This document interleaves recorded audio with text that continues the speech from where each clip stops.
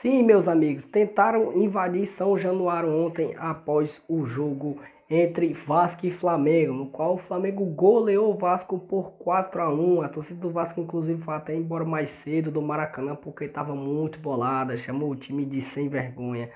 Tá sobrando por Maurício Barbieri, para 77 Partners. E confere as imagens do GE Globo. Temos imagens impressionantes de São Januário.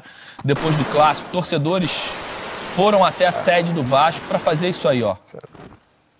É, Entendo, né? É, não dá para entender, não dá para compreender.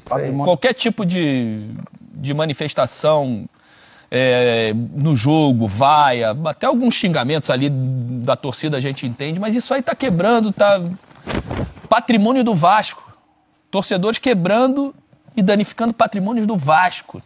Então tá aí, cara, imagens de selvageria, como disse o Roger, depredando o próprio patrimônio do clube. Desculpe o erro pela palavra, mas é isso, não tem o que dizer, né, cara? A torcida do Vasco tá revoltada, tem suas razões, mas eu acho que isso já é ato de vandalismo.